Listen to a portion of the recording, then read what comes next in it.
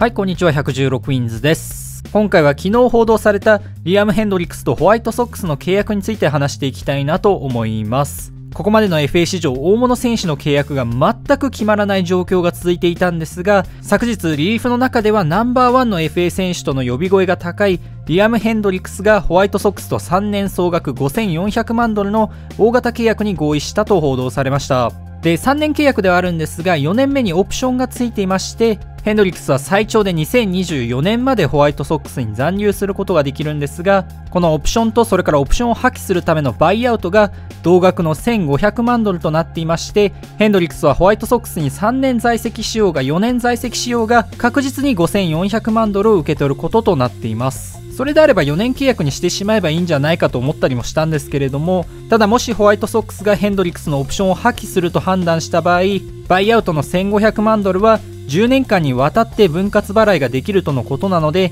将来的なインフレ次第では契約の実質的な価値を下げることができますしまたそもそも分割払いですから1年あたりの金銭負担も多少減らせることができるみたいですね。ここまでリーフの FA 市場はほとんど動きがなかったんですが今回1番手のヘンドリックスの契約が決まりましたのでここからもしかしたら市場が動き出すかもしれませんね。日本人選手で言えば沢村選手なんかも現在 MLB 移籍を目指しているところではありますがヘンドリックスの契約がが決まったことでもしかしたらこれから沢村選手に動きが出てくるかもしれません。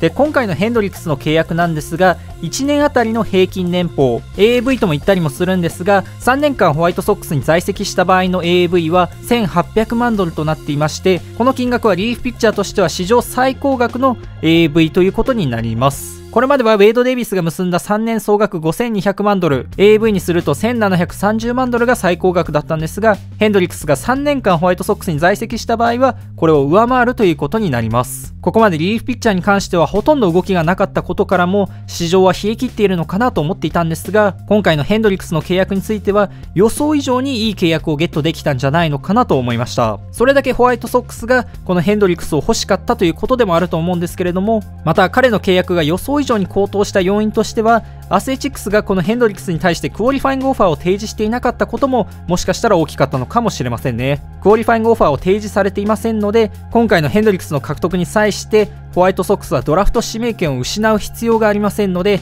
お金だけで MLB 屈指のクローザーを獲得できるのであれば今がまさに勝負期のホワイトソックスにとってはむしろ契約しない理由がないぐらいの契約だったのかもしれません。今回ヘンドリックスという MLB 屈指のクローザーを獲得したホワイトソックスですが実はこのチームブルペンは結構強いチームではあるんですよね。昨年のブルペン防御率は3.76でこれはリーグ5位の成績となっていますしまたファングラフス算出の Wins Above Replacement でもこちらもリーグ5位につけていましてこのチームにさらにヘンドリックスが加わるという非常に来シーズンが楽しみなブルペンとなっています。ヘンドリックスに加えてアーロン・バマーですとか昨年鮮烈なデビューを飾ったギャレット・クロシェなど若くて才能のある選手がたくさん揃っていますし近年はプレーオフを勝ち抜く上でもブルペンペンは重要なファクターとなってくるわけですがこの豪華なブルペンを引っ提げて昨年はワイルドカードで敗れてしまったホワイトソックスですけれども来シーズンはさらなる躍進に期待したいです。ちなみに昨年ホワイトソックスはアレックス・コロメがクローザーを務めていたんですけれども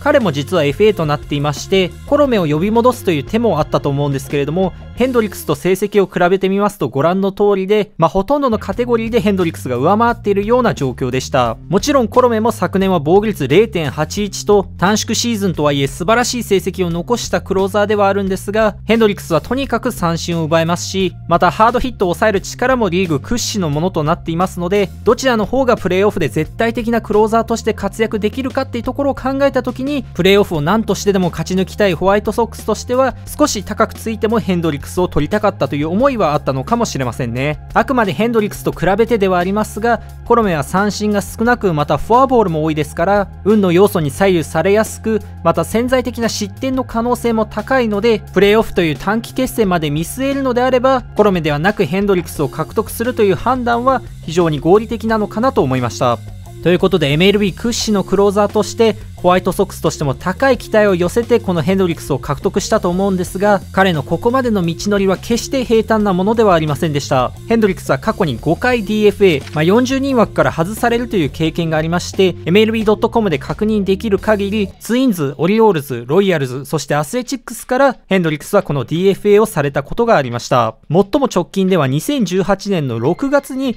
アスレチックスから DFA されていまして、この時は他の球団がヘンドリックス獲得を申し入れなかったため、アスレチックスのマイナーに降格することとなったんですが、今となればアスレチックスからすれば、この時他の球団が獲得を申し出なくてよかったなというところですよね。ヘンドリックスは2011年ツインズで MLB デビューを果たしたんですが、キャリアの序盤は球団を転々としていまして、その当時は日本や韓国でプレーすることも検討したことがあったそうです。正直私自身もキャリア序盤のヘンドリックスが活躍していたというイメージはあまり持っていなくて、それだけに現在こうして MLB 屈指のクローザーとして活躍しているのは、未だにちょっと驚く部分も正直あります。しかし2018年の DFA 後、マイナーに降格したヘンドリックスは、マイナーで好成績を収めた後、この年の9月に再昇格を果たして、ちょうどこの年というのは、タンパベイレイズがオープナー戦術を初めて行った年となっていまして、先発陣に怪我人や不調の選手が相次いでいたアスレチックスはオープナーを採用して、ヘンドリックスはこの役割で活躍をしました。初めてのオープナーとしての登板では失点してしまいましたが、その後後7先発で無失点に抑えまして、ヤンキースとのワイルドカードゲームでも、このヘンドリックスがオープナーを務めたことは記憶に新しいですよね。本人曰くマイナーに降格してからは考え方を変えたらしくて、相手がどういうことをやってくるかではなくて、自分が相手に対してどういうことをできるか、ピッチャーとしての自信を持って相手バッターに勝負するという姿勢に変えたところ、結果が出始めたと、